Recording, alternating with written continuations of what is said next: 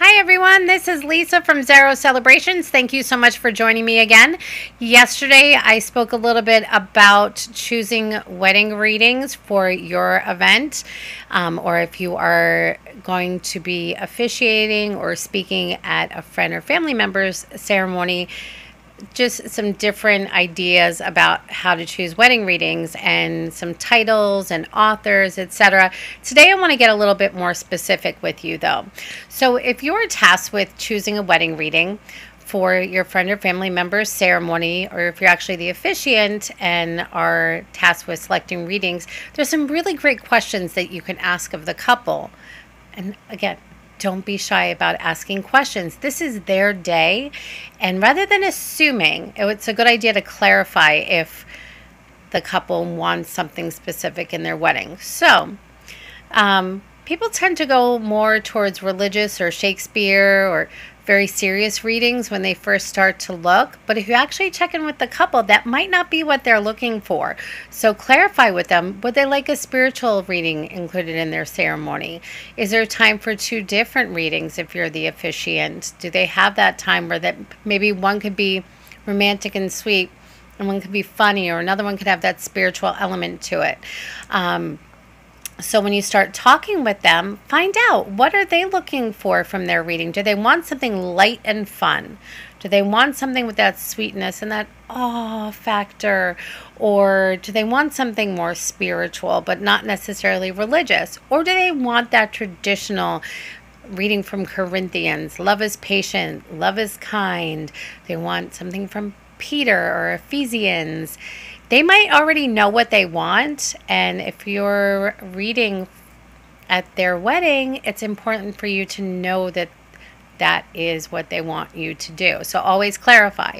Um, if you're going to be doing a reading and they say, the ball is in your court, do whatever you want, still ask a few questions your best friend may have some hobbies with their significant other that you're not aware of. They might be Game of Thrones fans or watch The Office all the time or, um, oh gosh, what's that other show that just went off the air with Sheldon? I can't think of it. If you know the name of it, please go ahead and write it in the comments and you can call me a fool if you like because I can not think of it. Third Rock from the Sun comes to mind, but I know that's not it. Um, that's an old, old, old show. I'm dating myself. Anywho, so if you're choosing readings for someone's wedding, let's get back to this. Let's say you want a funny wedding reading, okay? You can Google funny wedding readings and you'll come up with a lot of different things. Um, but if you really hone in on the personality of the couple, funny wedding readings about hiking, funny wedding readings about dogs, how falling in love is like owning a dog by Taylor Mali. I mentioned yesterday. That's a really fun one. Um, he Never Leaves the Seat Up by Pam Ayres. Yes, I'll Marry You, My Dear by Pam Ayres. also. Those are funny wedding readings. There's a lot of stuff out there, but don't limit yourself to actual poems or readings. You can use movies, music, Broadway shows, etc. as the basis for readings. So let's say you're working with somebody or doing a reading for somebody who just absolutely loves um, like more gospel music or country or Christian music, etc., but doesn't necessarily want a Bible reading. Um, I Will Be Here by Steven Curtis Chapman is gorgeous, and you can actually use that as a wedding reading.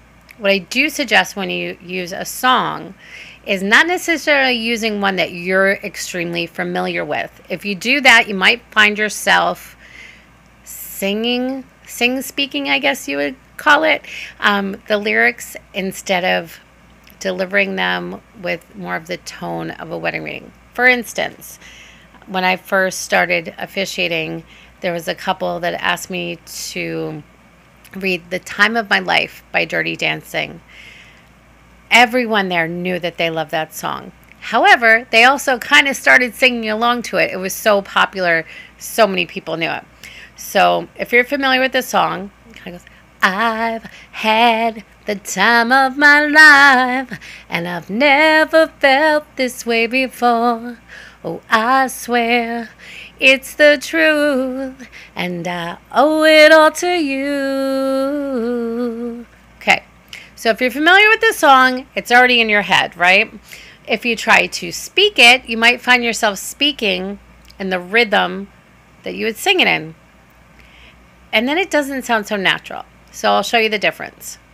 I've had the time of my life, and I've never felt this way before. I swear. It's the truth, and I owe it all to you. Versus just saying it like you would normally speak it in a conversation. I've had the time of my life, and I have never felt this way before. I swear it's the truth. Okay, so the inflections are completely different when you're doing it as a song and can come across as sing songy. So I suggest, let's say they absolutely love Queen or Bon Jovi or Sheryl Crow, um, Miranda Lambert, Gwen Stefani, Faith Evans, P. Diddy. If they're into the hip hop, if they're into rock, if they're into um, more instrumental music, you're going to be out of luck with that one because then you don't have lyrics to really work with there. Um, but just getting a basis for what they enjoy musically, you can find wedding readings. Um, there's a song by Shania Twain. It starts, looks like we made it. Look how far we've come, my baby. Okay. Um, if you're not familiar with the song itself, I can't remember the title off the top of my head. Sorry. Again, comments, please. Shout out the name of the song. And um, definitely have some more resources for you next time. But anyway, that song would be wonderful to recite at a wedding because it's not something that the younger generations know as well. I'm in my late 40s. That was a very popular song when I was growing up. Um, but there's a lot of other artists out there. I've actually done quotes in weddings from bands like Five Finger Death Punch. I know you're probably laughing right now and going, What? However, it works. Um, for the right couple, that kind of stuff works, having quotes. I've also quoted books before. Um, I've quoted Mr. Rogers from Mr. Rogers' Neighborhood. That's a show that so many kids watched when they were little. And you can take things from your favorite books. Um, just pass it by the couple to see if it's something that they would like. Again, ask them lots of questions. What are their hobbies? What do they love to do together? If they are foodies, you can find wedding readings for foodies. Just Google the heck out of it. Um, and don't stop at that first page. Click through the next few pages, and I bet you'll find some really great wedding readings instead of relying on just the first page or two of Google. Um, because you're going to find that those are going to be the ones you'll hear more. And it's nice if you can find something special for the two of them. Um, Captain Corelli's Mandolin is a beautiful romantic reading. The Art of Marriage by Wilferd A. Peterson, another amazing one. Union from Robert Fulghum. But those are a little bit more popular.